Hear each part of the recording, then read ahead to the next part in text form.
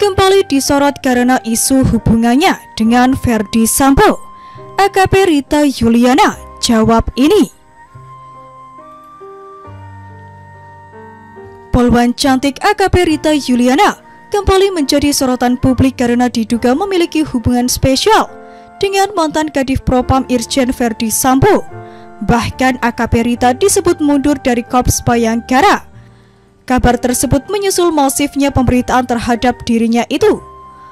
Lulusan Akademi Polisi 2013 itu ternyata dimutasi ke Polda Metro Jaya pada akhir 2021 silam. Sebagai anak buah Kapolda Metro Jaya, Irjen Pol Fadil Imran, AKP Rita kini menjabat Panit 1, Subdit Indak Direktorat Reserse Kriminal Khusus, Polda Metro Jaya. Kabit Humas Polda Metro Jaya Kombes Endra Sulpan juga membenarkan bahwa AKP Rita saat ini masih bertugas di Polda Metro Jaya.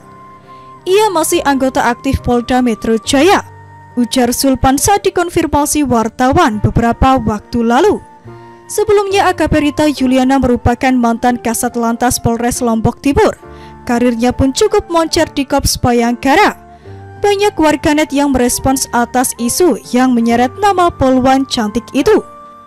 Melansir akun Instagram @rita Sorha Juliana, pada Selasa 9 Agustus 2022 lalu, banyak warganet yang menganggap bahwa Rita adalah sosok wanita yang baik.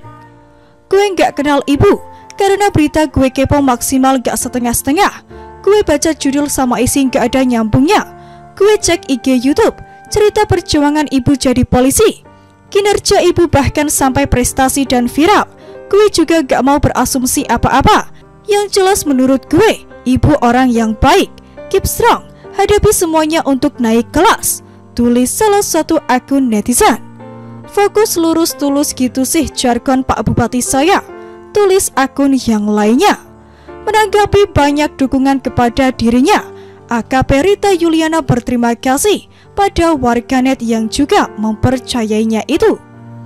Terima kasih, balas AKP Rita kala itu.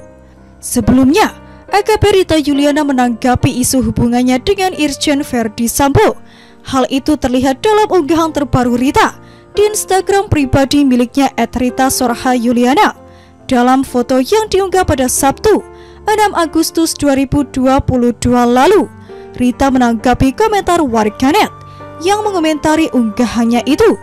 Hubungan AKP Rita Juliana dengan Irjen Verdi Sambo saat ini masih merupakan isu yang belum terbukti kebenarannya. Banyak warganet meminta kepada Rita untuk mengklarifikasi isu hubungannya dengan Verdi Sambo yang sempat viral. Tolong klarifikasi Bu, kalau ibu ini bukan simpanan jenderal, agar nama baik ibu jadi bersih. Tanya akun yang lain.